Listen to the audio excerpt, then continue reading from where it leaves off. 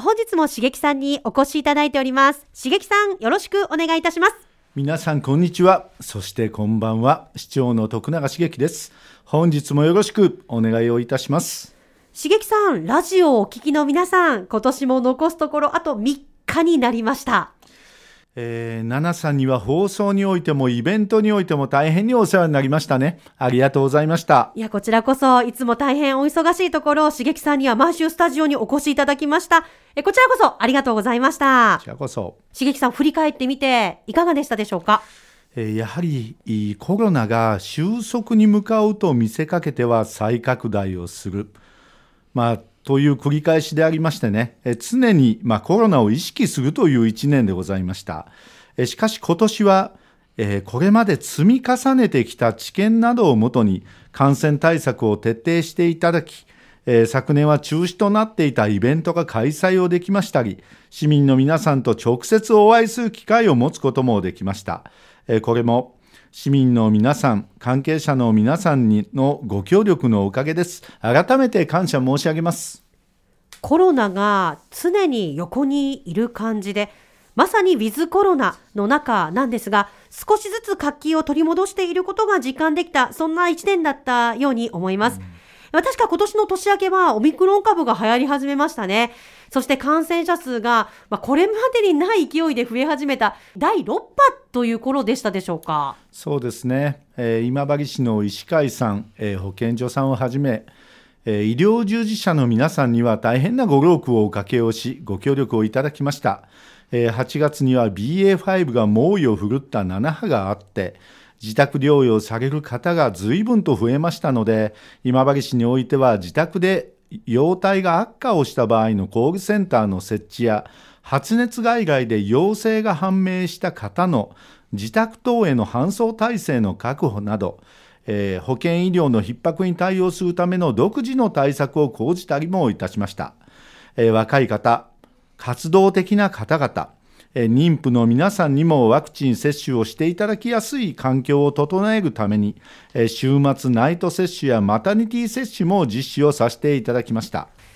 まあ、しかし年末年始は人が集まる機会が多いですね。また注意が必要な時期になりますね。そうですね、11月までは今治市は本当にあの優等生、市民の皆さんのおかげで、感染者の数は随分と低減をしておりましたけども、12月半ば以降、再び感染者の数が増加をし、現在も第8波のさなか、医療逼迫警戒宣言が発令をされているところでございます。市民の皆さんにおかれましては、基本的な感染対策を継続していただいて、また久しぶりに会うご家族やお友達がいらっしゃる場合は、無料検査場などを積極的にご活用し、陰性を確認していただいてから、まあ、楽しいひとときをお過ごしをいただいたらなと思っております。また、重症化リスクの低い方におかれましては、医療機関の適正な受診、また医療機関を受診をすることなく、愛媛県陽性者登録センターをご利用いただいて、自宅療養することをぜひ、まあ、ご理解を、そしてご協力をいただいて、行動をお取りをください。さて、先ほど刺激さんがおっしゃったように、今年は開催できたイベントが数多くありましたね。そうですね。えー、7月の終わりから8月にかけましては、えー、四国4県で、令和4年度のインターハイが開催をされましたね。覚えてますか？ありましたね、えー、今治市におきましてはボートとソフトテニスが開催をされました、えー、高校生の皆さんがあ躍動する姿っていうのは本当に眩しかったですね。夏には水不足が心配され節水の呼びかけをさせていただきましたが玉川ダムが何とか持ちこたえてくれ、えー、無事にボート競技を行うことができました市民生活にも大きな影響もございませんでして、本当にほっとしております。そして8月には3年ぶりの音楽、博多島においてはトライアスロンが帰ってきましたね。えー、市長就任以来初めての開催でありまして音楽の踊りや伝統芸能夢花火そして鉄人の皆さんが挑むトライアスロンどれも熱い思いが伝わってまいりましたし地域の皆さんのおかげなんだろうなというふうに思います、えー、皆さんが感染対策をさまざまに工夫をしていただいて力を合わせて開催することができて素晴らしかったなというふうに解雇しています。暑い夏に熱い気持ちが集結していました。たくさんの裏方スタッフさんが汗だくになってね頑張っていたっていうのもね印象に残っています。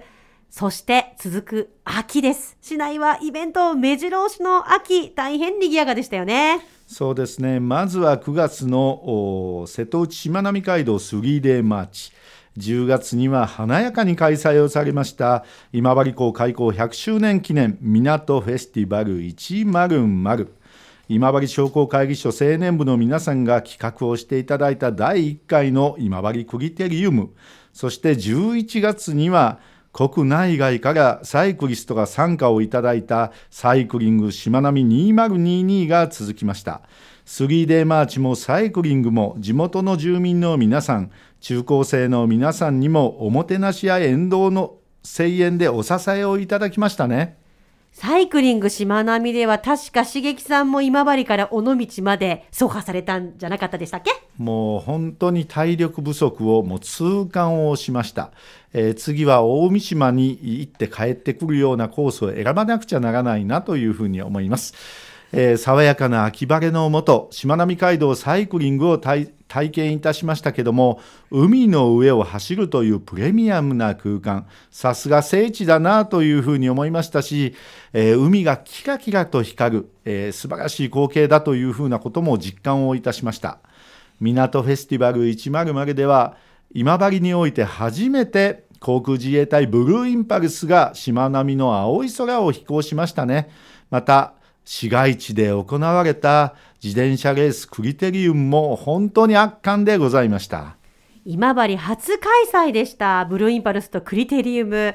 まずあのブルーインパルスですが遠くの青空に5機の小さなブルーインパルスが見えたと思うとすごいスピードと迫力であっという間に今治港上空まで飛んできました。でみんながわーって歓声上げて空を見上げたというのが印象的でした。しまたクリテリウムの方は目の前をすごいスピードで走り去る自転車。もう速すぎて形がはっきり見えないくらいでもうびっくりしました。まあ、そんな光景が多くの皆さんの心に残ったんではないでしょうか。え市民の皆さんからもそうしたお声をお寄せをいただいておりまして市長としても大変嬉しいです。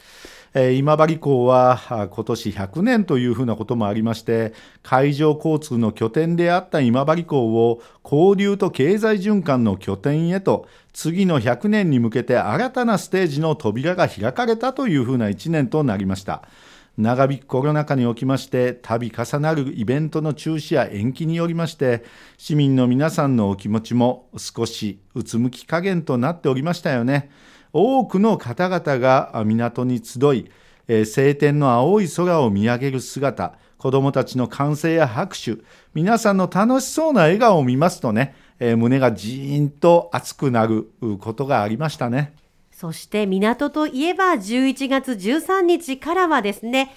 瀬戸内港マルシェスタートということにもなりましたし、またこの11月13日のこの初日は、子供が真ん中フェスタ、こちらは今治商店街でありましたよね。大変お忙しい中、中村知事にもご臨席をいただいて、マルシェ素晴らしいスタートが切れたのかなと思います。えー、このラジオでも何度もご案内をさせていただきましたけども瀬戸内のうまいに出会える海辺の港マルシェは毎月第2第4日曜日朝の9時からお昼の2時まで14時まで開催しています、えー、当然ながら新しい年も行ってまいりますのでぜひ市民の皆さんにはお越しをいただきたい。そしてお友達をお誘いをいただきたいと思っています。えー、子どもが真ん中フェスタでは新しい取り組みでありましたけども保育士さんや関係者の皆さんが笑顔で子どもたちやそして保護者の皆さんが大きな受け皿となって楽しい時を過ごしていただきました。大変嬉しかったです。一連のイベントを終えられてみていかがでしたか？天候に恵まれたというふうなことは大きな感謝です。実は雨男の徳永ですので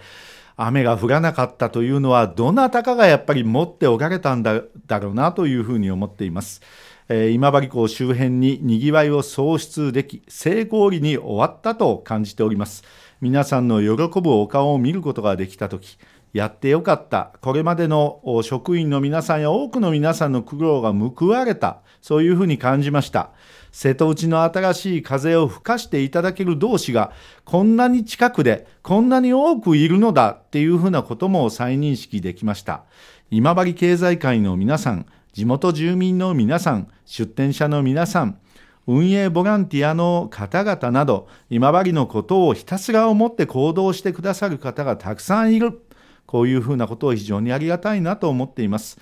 これらのイベントを今後も継続していくことが何よりも必要でございまして、これからも力を注ぎ、行政主導ではなくて、市民の皆さんが能動的に新しい文化を育てていくというふうな環境を私たちも作っていきたいし、応援をしてまいりたいと思っています。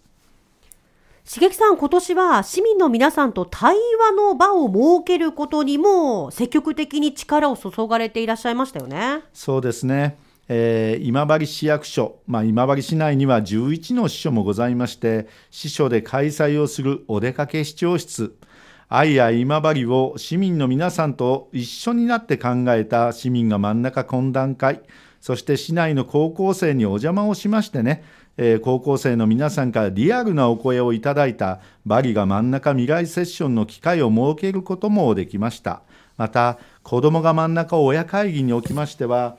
妊婦さんやお母さん、お父さんの子育てのお困りごとや、地域の子育て支援者のお声も聞かせていただきました。私の政策の大きな柱の一つとして、子育て支援がございます。今治版ネオボラを掲げさせていただいてございますけれども、今後の取り組みに有意義なご意見をたくさん頂戴をいたしました。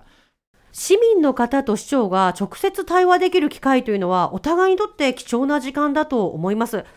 まあ、そんな対話の場を設けたのは、市民の方にとどまらずというふうにもお聞きしております。え実はですね、えコロナの第7波が明けた後、え京都での県人会、広島での県人会、そして東京での今治の集いに赴きました。今治出身者など今治にゆかりのある方々、今治を応援いただける県外にお住まいの方々に今治の現状についてしっかりとお伝えをさせていただいて、そして外からのお声をいただいたり、SNS で応援をしていただけるような、そんな関係人口を増やすことも私自身意を用いてまいりました。12月においては初めての経験でありましたけども、日本一の東京大田市場、そして都内のスーパーマーケットにおきまして JA 落今治さんのトップブランドの柑橘瀬戸の晴れ姫の売り込みもさせていただきました東京の皆さんから美味しいという生の声をお聞かせをいただき、ますますいろいろ、いろいろな今治さんの美味しいものをもっともっとご紹介をさせていただきたいという意欲にもつながっています。刺激さんはこのラジオ、そしてテレビ番組などに積極的に出演されているわけなんですが、まあ、県外にも直接出向かれて、今治のトップセールスに力を注がれていらっしゃるんですね。私もこれから明るい今治のニュースをどんどん発信させてもらいたいなと改めて思いました。もう奈々さんどうぞよろしくお願いいたします私も今治の良い情報を広くそして力強く発信していくことを来年も頑張ってまいりますよ市民の皆さんこの1年市政全般にわたり多くのご理解ご協力を賜りありがとうございました来年も新しい年も今治市のために全力を尽くす覚悟でございます。どうぞよろしくお願いをいたします。それではどうぞ良いお年を皆さんと共にお迎えをください。本日もしげきさんにお越しいただきました。しげきさん、ありがとうございました。ありがとうございました。